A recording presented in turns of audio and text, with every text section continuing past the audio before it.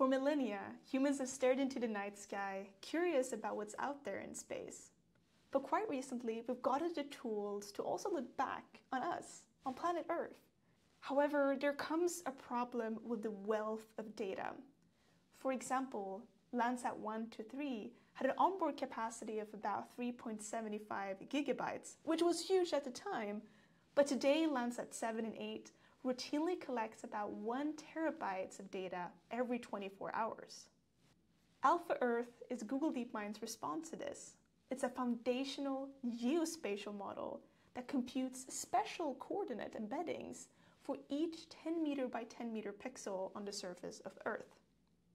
What's key is that the Alpha Foundation model combines a range of data, thousands of bands, ranging from optical and thermal imagery, radar data, 3D surface measurements, climate properties, gravity field, geolocated descriptive text, you name it, and condense them into 64 bands that are called an embedding. And the satellite embedding coordinate is kind of like a combination of all of those data layers. So we're constructing this new Earth, where each coordinate does not only have three values, like the lat long and the elevation, but rather 64 numbers. But what's special about these numbers is that they carry semantic meaning. This means that locations that are similar are going to have similar arrows on this sphere, while locations that are very different will have arrows pointing in a very different direction.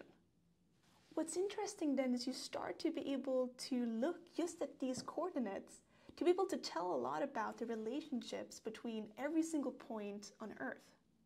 And what's really special about these new types of coordinates is that they not only factor in the geospatial location, but also the temporal location.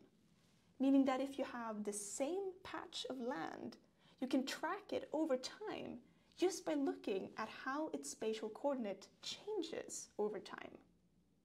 Now to measure the similarity and difference between two of these coordinates, we use something called the cosine similarity, which is just the angle between the vectors.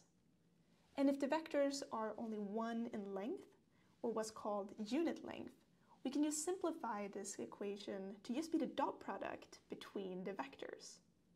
And then if we visualize the dot product between the vectors, where we highlight the vectors that are more different with white, we can see places where the same location has maybe dramatically been changed over time.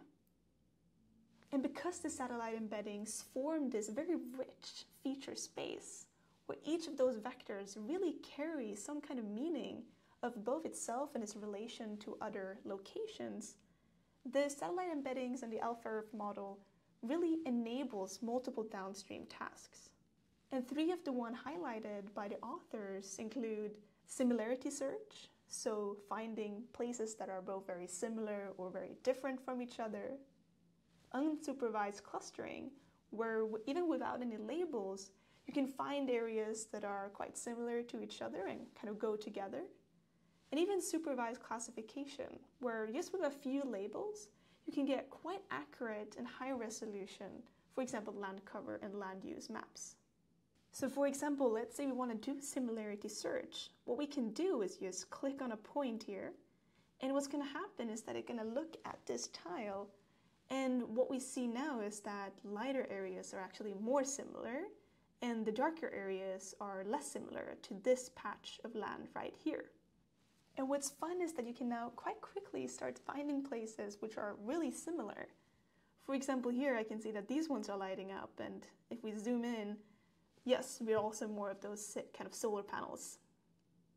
And when it comes to clustering, we can also just start letting it find kind of patterns in the region.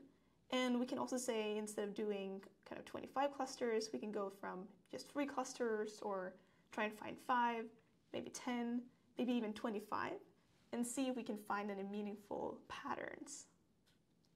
Or we can start labeling ourselves to say that, hey, we know that this is one class and this is another type of category and this is a third one.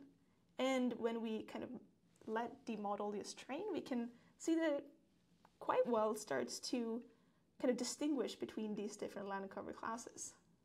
However, the satellite embedding dataset still has its limitation.